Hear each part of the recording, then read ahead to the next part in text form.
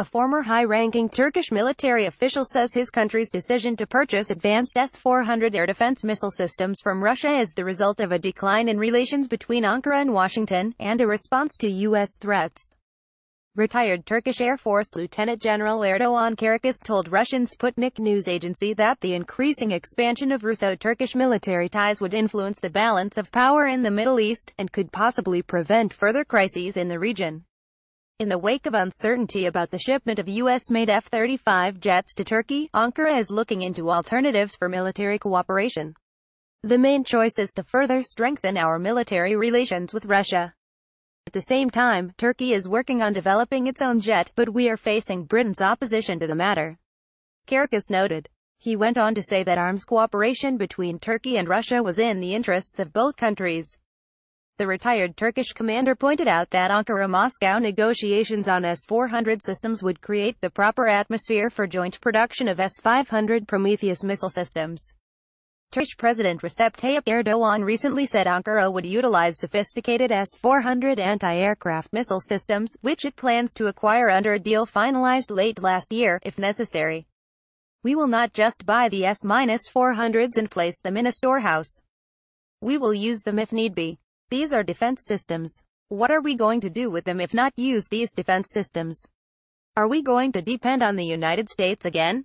We have been demanding them for years, but the answer given to us has been, the U.S. Congress is not allowing. We are tired of this, he said in remarks broadcast live by private Turkish-language TGRT Haber television news network on June 12. On June 8, Turkish Interior Minister Süleyman Soylu said his country had an unalienable right to protect its own security and would spare no efforts to procure S-400 missile systems.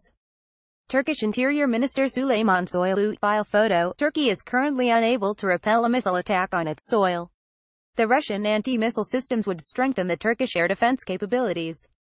The countries, which had refused to supply Turkey with advanced air defense systems, wanted to undermine Turkey's military prowess. Soylu said. Erdogan and his Russian counterpart Vladimir Putin said in the Turkish capital Ankara on April 3 that they had agreed to expedite the delivery of S-400 missile systems. The delivery is expected to start between late 2019 and early 2020.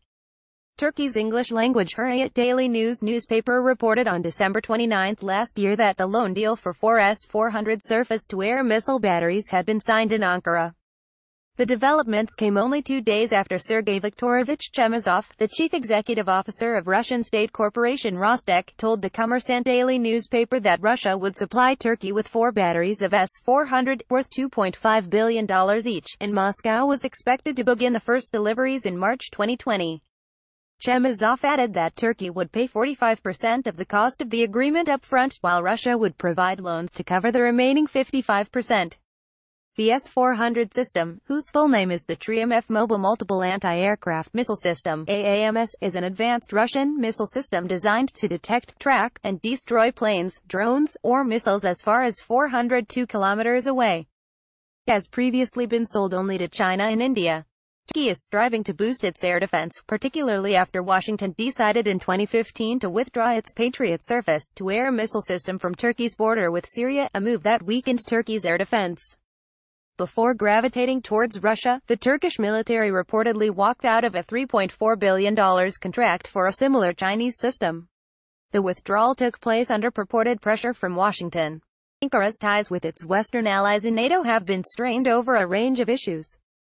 Erdogan has been critical of Washington for supporting Kurdish groups in Syria that he says are responsible for terror attacks inside Turkey. The Turkish leader has also slammed American officials for rejecting his requests to hand over Fethullah Gulen, a powerful opposition figure living in the U.S., whom Ankara accuses of having masterminded the July 2016 coup attempt.